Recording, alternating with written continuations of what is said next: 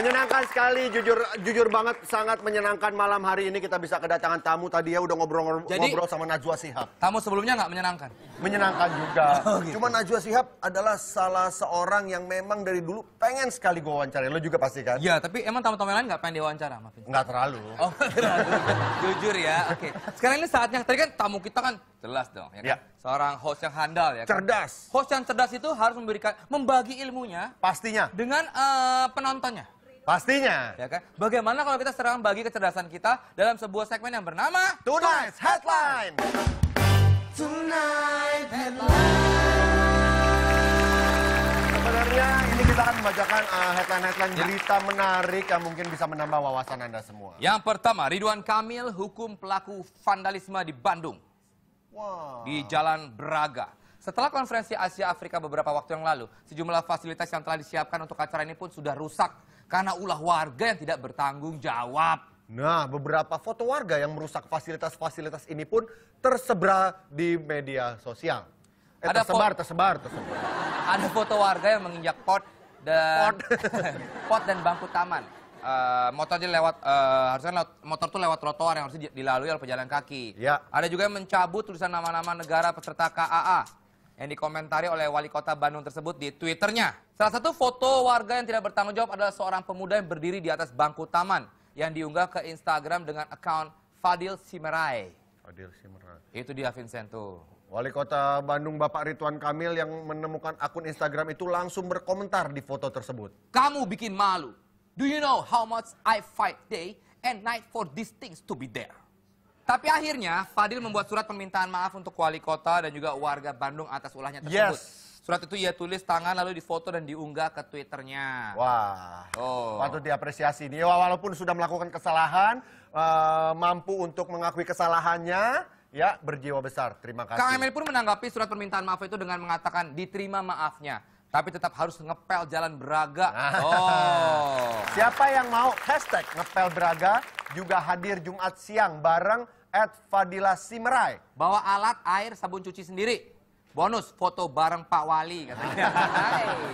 Semoga ini bukan hanya di kota Bandung, di kota-kota lainnya juga buat para perusak-perusak ya Hmm. fasilitas umum yang iseng nyoret-nyoret kereta, nyoret-nyoret Tembok, bis, tembok. tembok, Hmm. merusak ramu-ramu atau apa pun. Ayolah kan sama-sama. Bik- apa bikinnya pakai duit kita juga. Benar. Ya kan? Oke. Kita jaga bersama. Next. Lempar mangga ke presiden, perempuan ini malah dapat rumah. Hah? Waduh.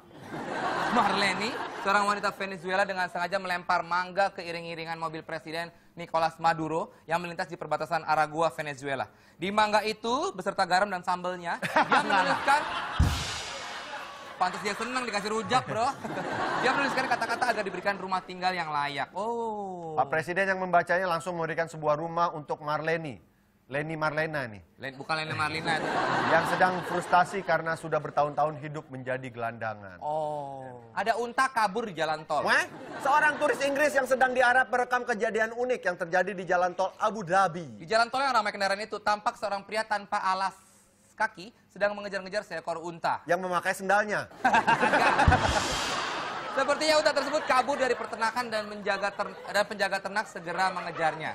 Gitu. Unta di Arab Saudi, eh, unta di Arab Saudi memang biasanya dibiarkan begitu saja di gurun pasir tanpa dikandangkan. Sehingga mudah bagi unta-unta itu untuk kabur. Waduh. Pak ngapain pak? Ngejar unta. Naik mobil nih. Tanya dong. Ini nggak ngomong. Lu nggak ngomong. Ya lu mau ditanya. ya iya kan ceritanya gitu Oh iya, ya lu ngomong mau ditanya gitu. Lu ngapain pakai contoh? Sorry, sorry, sorry. Asik. Ngejar unta pak? Buka ini.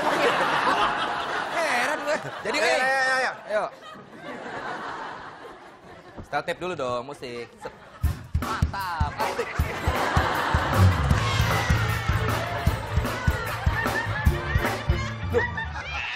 Orangnya mana tadi? Oh, Oh, di belakang, di belakang. Ah, Kenapa, bro? Kenapa, bro? Lu makanya, kan gue nyetel tip dulu, nyetel dulu dong. Ya, langsung ya, lanjut ya. pernah disepak onta nggak? Lanjut, banget. ada kambing pura-pura mati. Setiap binatang memiliki cara sendiri untuk melindungi diri. Salah satunya adalah kambing Neotonic asal Tennessee, Amerika Serikat. Jadi, ini kambing nih sering juga disebut the fainting goat atau kambing pingsan. Karena mereka kan... Ya. Guys, lihat,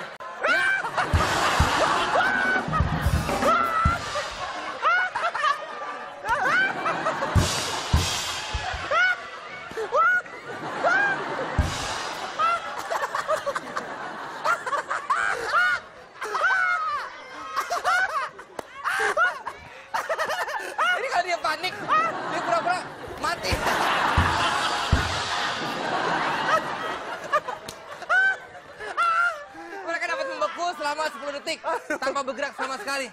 Jadi kalau terancam nih, ya, yeah, ceritanya kambingnya ya. Iya. Gue mau ngebelah lo nih. Iya, iya, Gue iya. mau nyembelih nih ya. Iya, iya, iya. Wah ada kambing nih. Wah tuh ada kambing tuh.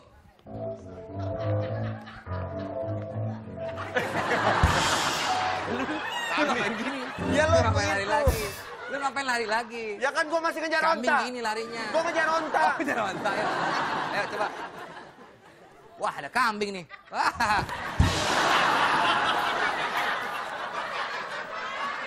Oke, baiklah. Berita selanjutnya. Langsung selanjutnya kita masuk ke sebuah... Pengen ditegur. Oh, iya, iya, iya.